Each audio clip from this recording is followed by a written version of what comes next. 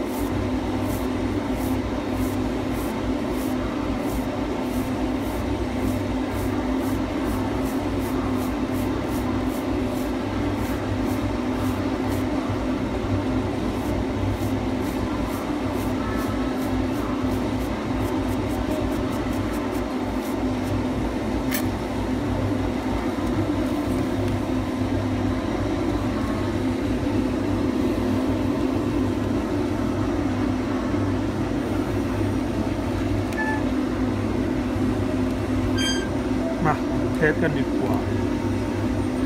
จะใช้ได้หรือเปล่า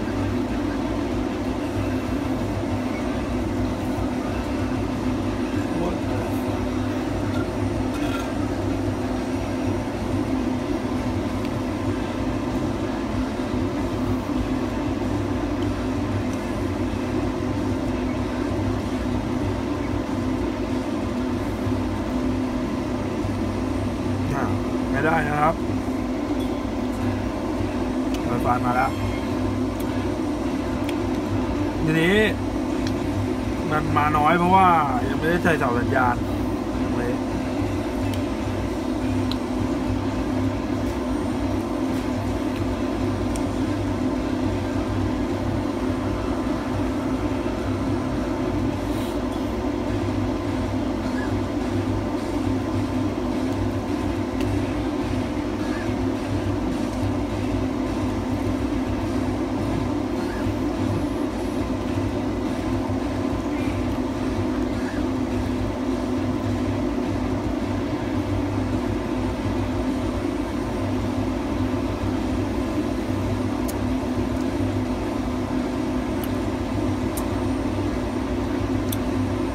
มันรับไม่ได้นะครับเพราะเสายังไม่ได้ใส่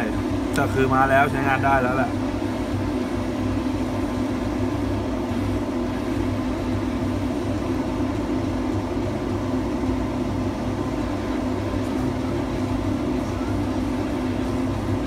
ได้แล้วล็อกอินแล้วครับ